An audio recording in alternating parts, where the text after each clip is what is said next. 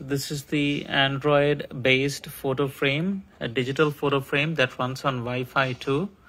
So it connects to your phone via Wi-Fi and you can share pictures from your phone's app that they suggested. Um, and then you can send pictures from anywhere in the world via email once you have synced your app and phone you can even send it via facebook you can even send it via twitter. So if you click that it's a fantastic touchscreen it's very responsive. You can see there is an internal storage and sd card and usb connectivity too.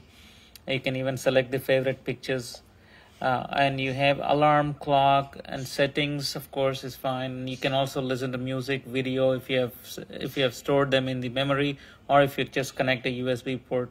You can also set your calendar and you can see the weather and where you are present right now. There are a lot of features which my previous photo frame did not have.